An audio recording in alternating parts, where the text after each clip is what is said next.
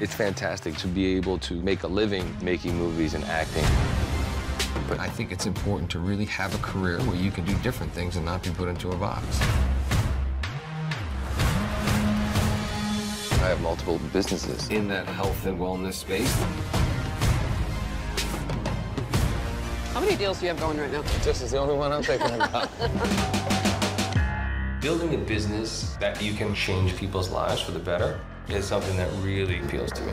I'm doing things that I'm passionate about and that I believe in, and that are really kind of a direct extension of who I am. Which one's better, this one or this one? Being separated from my family, it's the biggest sacrifice always for me. But I want to grow and build a business that I can pass on to future generations. We feel a huge, overwhelming amount of responsibility to make sure that we're successful.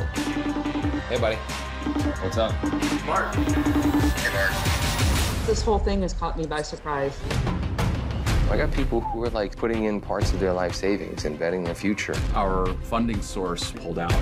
If I don't start selling, this company goes away. Scrap it and go back to the drawing board. We're Two and a half million in the hole. Oh, God. You know why the show's gonna be such a hit? What? Because it's a fucking shit show.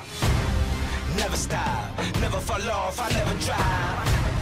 I'm gonna work twice as hard to bring something to the table. He's giving everybody jobs and he's not taking it all, he's giving back. And I'm wanting to really inspire other young entrepreneurs. If I can give my kids my work ethic, that's valuable. Never stop, never fall off, I never fly. Never say never. I never stop till I reach the top. I got the bug, you know? I got the bug for business. Never say never. I think not. Uh.